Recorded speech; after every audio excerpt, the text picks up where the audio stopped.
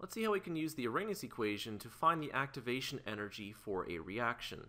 And so let's say our reaction is the isomerization of methyl isocyanide. So on the left here we have methyl isocyanide and it's going to turn into its isomer over here for our product.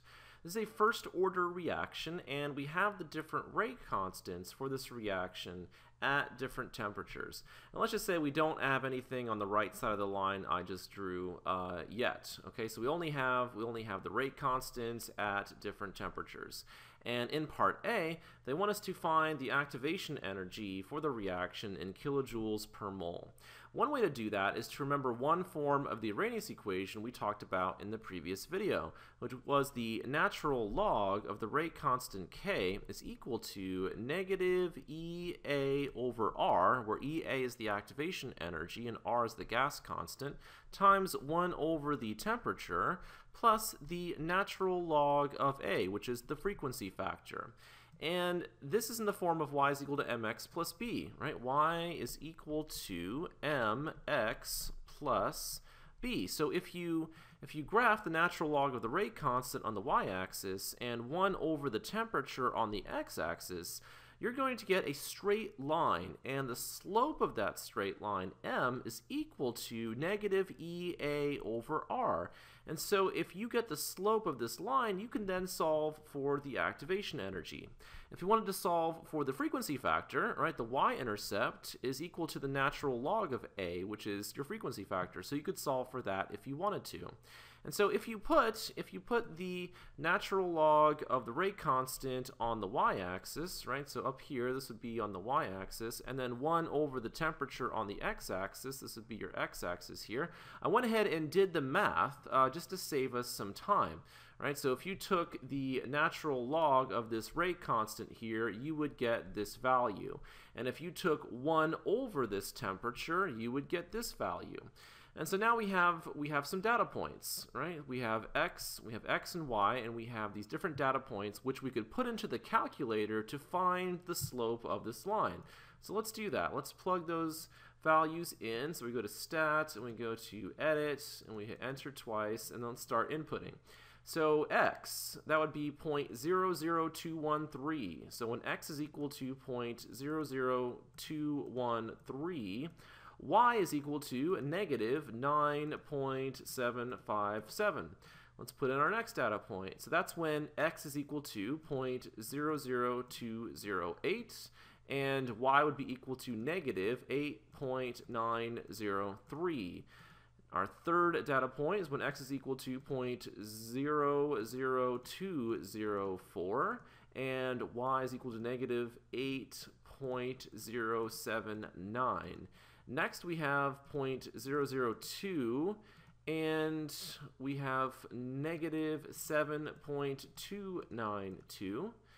And then finally, our last data point would be 0.00196, and then negative 6.536. All right, so we have everything inputted now in our calculator, and let's exit out of here, go back into stat, and go into calc. And we hit enter twice. We want a linear regression. We want a linear regression, so we hit this, and we get our linear regression. So we can see right here, here on a calculator, b is the slope. So that's negative 19,149. And then the y-intercept would be 30.989 here. All right, so let's go ahead and, and write that down. So we have from our calculator, from our calculator, y is equal to M was negative 19,149x and B was 30.989. All right, we're trying to find the activation energy, so we are interested in the slope, right? So the slope is negative 19,149. And those five data points, I've actually graphed them down here, right? You can see that I have the natural log of the rate constant k on the y-axis, and I have 1 over the temperature here on the x-axis, and here are those five data points that we just inputted into the calculator. And so the slope of our line, right, the slope of this line is equal to negative 19,149. So that's what we just calculated. So to find the activation energy, right, to find the activation energy, we know that the slope m is equal to is equal to, let me change colors here to emphasize the slope is equal to negative EA over R. So the slope right, is negative 19,149, and that's equal to negative of the activation energy over the gas constant. And R, as we've seen in previous videos, is 8.314. So we can solve for the activation energy. So let's get out the calculator here, exit out of that, and we have uh, we would have, this would be 19,149 times 8.314. And so we get an activation energy of, this would be 159,205 approximately joules per mole. Our answer needs to be in kilojoules per mole. So that's approximately 159 kilojoules per mole. So let's write that down. Activation energy is equal to 159 kilojoules per mole. And so we've used all of that data that was given to us to calculate the activation energy in kilojoules per mole. In part B, they want us to find the activation energy, once again in kilojoules per mole, but this time they only want us to use the rate constants at two different temperatures, at 470 and 510 Kelvin. And so we need to use the other form of the Arrhenius equation that we talked about in the previous video.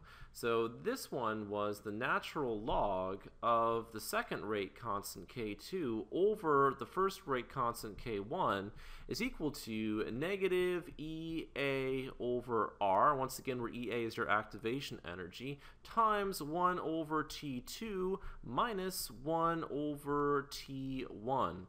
And so for our temperatures, right, 510, that would be T2, and then 470 would be T1. Let's go ahead and plug in what we know so far. So the natural log, we'd have to look up these rate constants. So we'll, we will look those up in a minute, what K1 and K2 are equal to and that would be equal to negative of the activation energy, which is what we're trying to find, over the gas constant, which we know is 8.314. This would be times 1 over T2, when T2 was 510, so 1 over 510, minus 1 over T1, which was 470, so 1 over 470. And so now let's go and look up those values for the rate constants. So we're looking for the rate constants at two different temperatures, and our temperatures are 510 Kelvin. Let me go ahead and change colors here. So we're looking for K1 and K2 at 470 and 510. So let's go back up here to the table right? So 470, right? That was T1, and so this would be the value for the first rate constant, 5.79 times 10 to the negative 5. And then T2 was 510, and so this would be this would be our second rate constant here, so 1.45 times 10 to the negative third.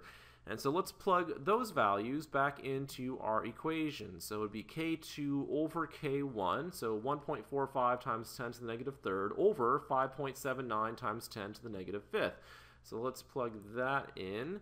So this is the natural log of 1.45 times 10 to the negative third over 5.79 times 10 to the negative fifth.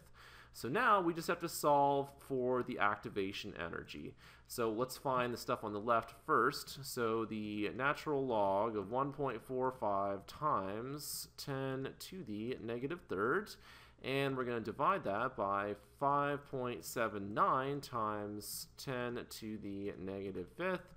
And we get 3 point, let's round that to 3.221. So we get 3.221 on the left side and 3.221 on the right side we'd have negative EA over 8.314 and let's solve for let's solve for this. All right so let's get the calculator out again and let's do 1 divided by 510 all right from that we're going to subtract 1 divided by 470 so let's see what we get. We get negative, let's round that to negative 1.67 times 10 to the negative 4. So we have negative 1.67 times 10 to the negative 4. So just solve for the activation energy. Right, so we have 3.221 times 8.314 and then we need to divide that by 1.67 times 10 to the negative 4. And so we get an activation energy of uh, 100 approximately that would be 160 kilojoules per mole right? We need our answer in kilojoules per mole and not joules per mole. So we'll say approximately 160 kilojoules per mole here. So the activation energy is equal to about 160 kilojoules per mole, which is almost which is almost the same value that we got using the other form of the Arrhenius equation. Right? So the other form we ended up with 159 kilojoules per mole. So close enough. So you can use either version of the Arrhenius equation depending depending on what you're given in the problem.